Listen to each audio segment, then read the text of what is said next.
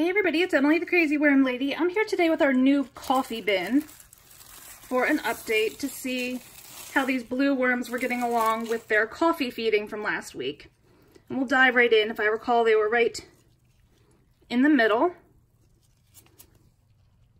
And it does appear like the worms are all throughout the coffee layers here.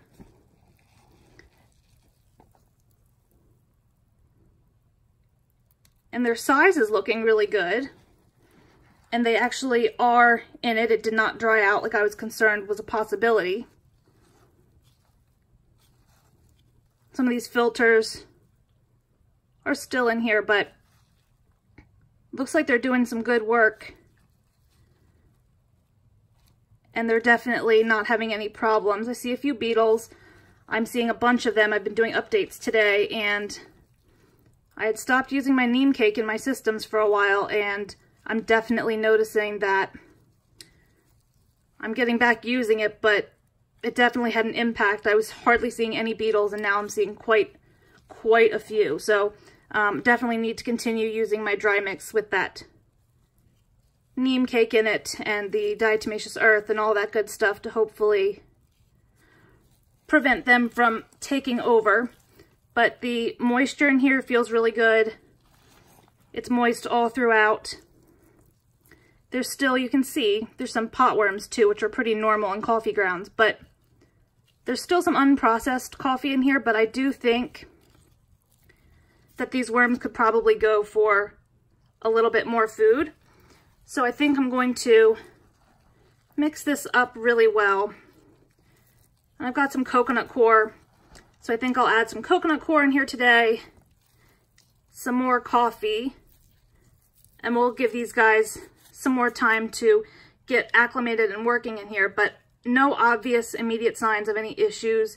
Um, obviously the beetles are a little annoying, but green beetles are really common, um, at least for me, in my systems, they're quite common. They don't usually have any sort of interest in leaving the bin where they have a steady food source, so I don't worry about it much. But so far, so good. Let's get something. We'll feed one of these other corners with some more coffee and some coconut coir for some added bedding. And we'll leave them for another week. Okay, guys, so I, I literally mixed the entire contents of the bin up really well. It was a little bit wet down in the bottom, so that was good aeration. Um, for the system to turn it up. Some people don't like turning up their systems. I actually think it's a good thing. Helps you kind of assess the moisture in the bottom because it can feel dry in the top and be wet in the bottom. So, oh my, that was way more than I intended, but you know what? It's over to the corner, so they'll have plenty of area to escape. Maybe we'll just spread this across the whole side here. Could end up regretting this, but they have this entire area over here to escape if it would get too warm or too acidic, anything like that. So I think it actually could be an interesting thing to see. But that was an entire coffee container there full of my used grounds from like the last week. Loading it down. Lots of the dry mix.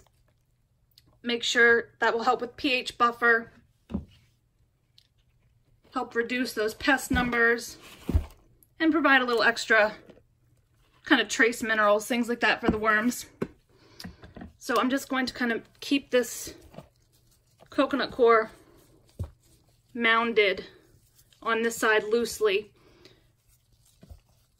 It's moistened already, and I'm literally just going to lay this sheet of bubble wrap back across the top.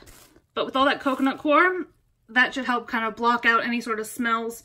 Uh, there's still obviously space around this um, bubble wrap for plenty of aeration to get down into the bin while still holding in enough moisture for the worms to be able to work and to prevent the coffee from drying out. So that's going to be it for today, guys. Let me know what you think. Drop those comments below. Like this video. Subscribe if you'd like some more content from me. And I'll be back with you guys real soon for an update.